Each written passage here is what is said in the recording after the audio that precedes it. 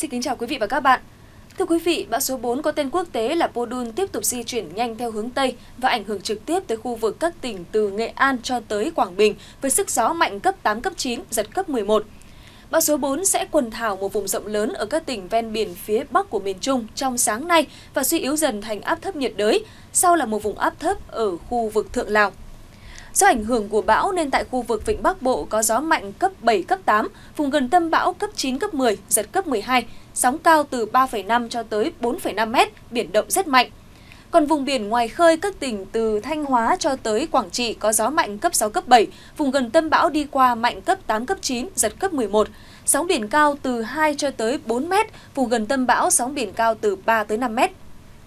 Đi sâu hơn vào đất liền, hoàn lưu bão số 4 cũng gây mưa lớn ở Bắc Bộ. Từ hôm nay tới ngày mùng 2 tháng 9, trên khu vực sẽ có mưa vừa, mưa to, có nơi mưa rất to. Tổng lượng mưa phổ biến cả đợt ở các khu vực Hòa Bình, Sơn La, Yên Bái, Phú Thọ là từ 200 tới 300 mm. Khu vực Nam Đồng bằng Bắc Bộ là từ 100 tới 200 mm. Khu vực Trung Du, vùng núi thì lượng mưa thấp hơn. Do có mưa nên nhiệt độ tại đây cũng xuống thấp, cao nhất hôm nay nền nhiệt chỉ ở ngưỡng là 27 tới 29 độ. Thời tiết tuy mát mẻ nhưng lại không thuận lợi cho việc lưu thông và sinh hoạt của người dân khu vực. Mưa rông lớn cũng diễn ra tại Trung Bộ, tập trung ở các tỉnh phía Bắc đèo Hải Vân, nơi chịu tác động chính của cơn bão số 4.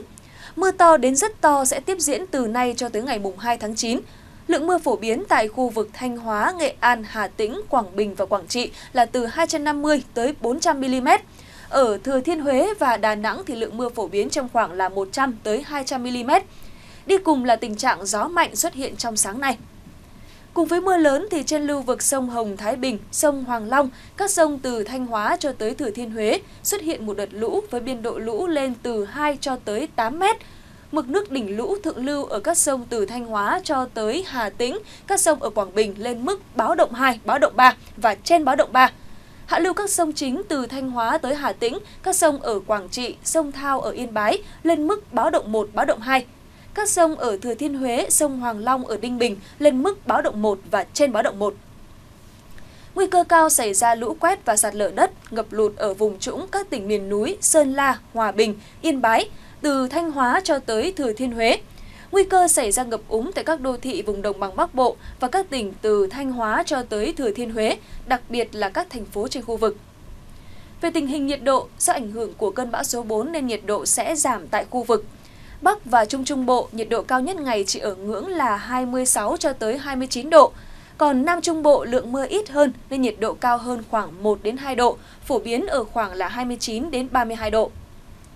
Quá trình dịch chuyển gần hơn của bão số 4 chính là tác nhân khiến cho gió mùa Tây Nam ở phía Nam hoạt động mạnh hơn.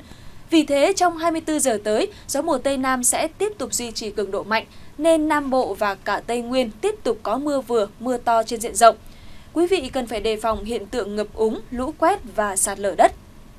Nền nhiệt cao nhất trong ngày ở khu vực Tây Nguyên chỉ từ 26 cho tới 28 độ, trong khi ở khu vực Nam Bộ nhiệt độ cũng chỉ từ 29 đến 31 độ.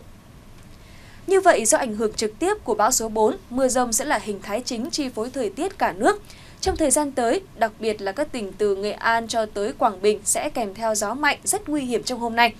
Đến đây, bản tin thời tiết sáng ngày 30 tháng 8 của Đài truyền hình kỹ thuật số VTC xin được khép lại. Cảm ơn quý vị và các bạn đã quan tâm theo dõi. Xin kính chào và hẹn gặp lại.